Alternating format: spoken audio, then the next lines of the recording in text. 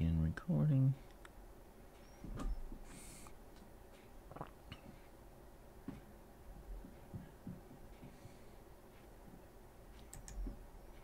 Here's your Alabama WX weather briefing video for the Sunday morning. It's March the 10th.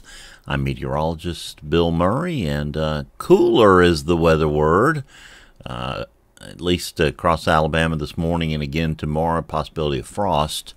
Um, let's get started. I hope you've, uh, well, of course, all of our clocks now set themselves, but if you have any of those manual clocks lying around, time to uh, advance them one hour if you haven't already done so, because daylight saving time starts this morning, started about 2 a.m. local time.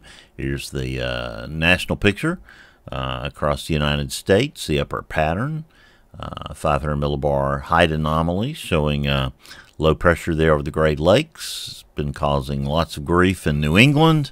We'll continue to do that today. That trough uh, back into the southeastern United States, bringing us some cooler air ridging there over the middle of the United States, and another system uh, coming on shore in the Pacific Northwest that will bring uh, another round of uh, snows to the Cascades and to the uh, Sierras going out in time um, through the week ahead.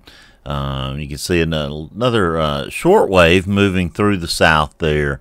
Uh, Monday night into Tuesday, but you could see it was weakening as it went, crossing across the ridge. Another trough heading our way uh, by Thursday, but it kind of dampens out too. And then finally, the next system drops into the four corners, very deep upper low, and uh, that system will be coming uh, eastward uh, into the weekend. So we'll deal with um, uh, some showers and thunderstorms by late Thursday night, early Friday morning.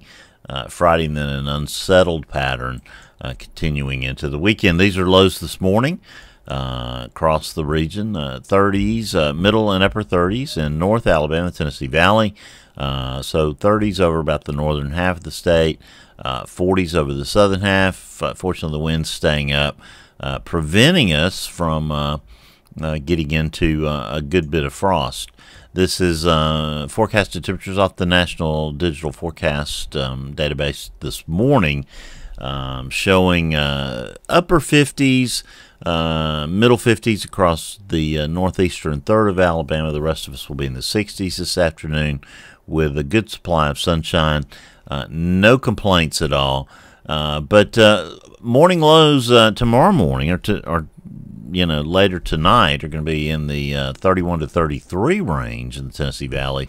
34 to 38 across central Alabama. So frost um, will definitely be uh, a possibility. We'll use the GFS as the zero Z run from 6 p.m. tonight, uh, showing us uh, what's going to happen over the next uh, 384 hours.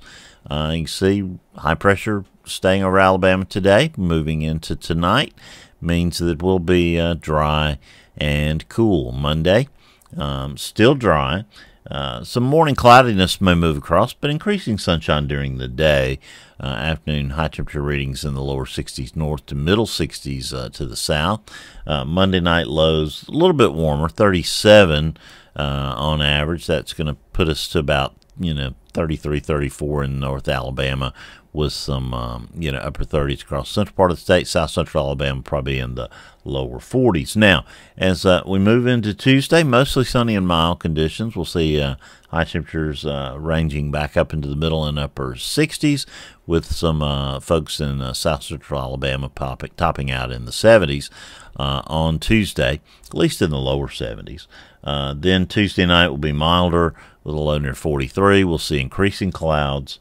Um, during the day, slightly warmer, low 70s uh, on average. You can see uh, that big subtropical ridge to the east beginning to pump in some moisture. So as we go through the day, I think it'll hold the showers at bay uh, for us here in Alabama, but those showers are going to try to um, uh, fire up on Thursday afternoon over the Arklatex. Uh, some chance that we'll see some severe weather uh, to the west of Alabama. Uh, not as pronounced on this model run, but certainly some marginal severe capabilities uh, developing there. Uh, eastern Texas, southwestern Arkansas, northern Louisiana. That activity pushes into North Alabama Thursday night, uh, early Friday morning. You see um, this would be um, you know around 3 a.m. uh, Friday morning showers and thunderstorms moving into the state. Uh, I've sampled some of the uh, these model outputs, and the soundings don't uh, indicate that we'll have anything in the way of severe weather here in Alabama. But it looks like another round of uh, moderate heavy rain uh, for the northern part of the state, kind of pushing into central and south central Alabama Friday, Friday night. Um, we'll be you know, in the in the 70s after being uh, in the upper 70s on Thursday, probably lower 70s on Friday. But you can see we're kind of in an uns, uh, unsettled pattern.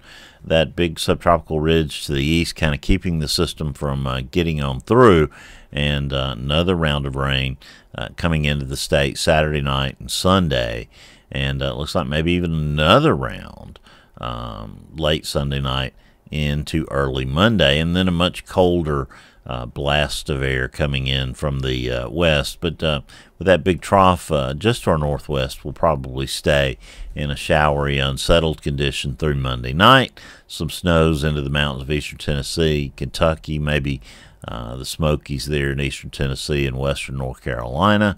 Uh, but um, you know, don't, a little too early to tell if that'll really uh, materialize. Some showers, snow showers actually making their way into Alabama on that run. So uh, don't go get the milk and bread just yet.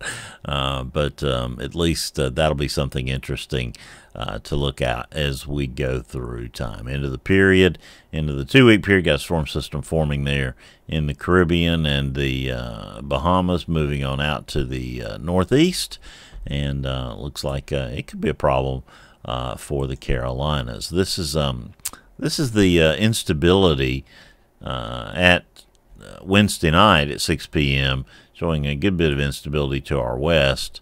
Um, that really fires up on Thursday afternoon, but I don't know. That, that air mass looked pretty capped. Uh, so it may be a situation where we see some supercell development in eastern Texas.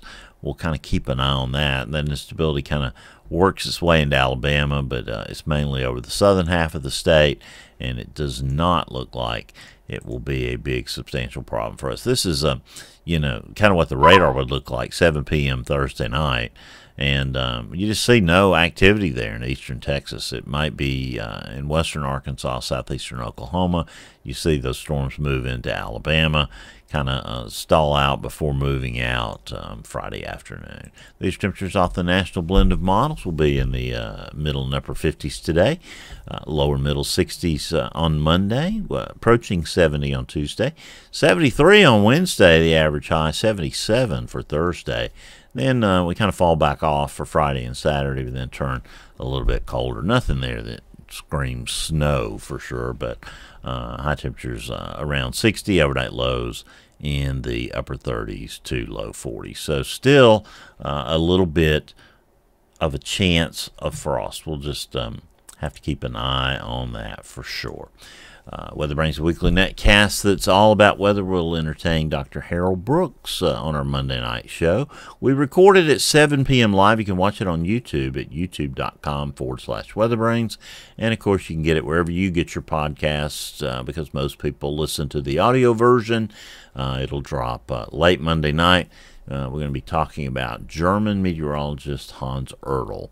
And uh, Dr. Brooks is always an interesting uh, man about town in the uh, meteorology uh, profession and circles, and we'll have a lot of fun talking to him. Let's weather video for this Sunday, March the 10th.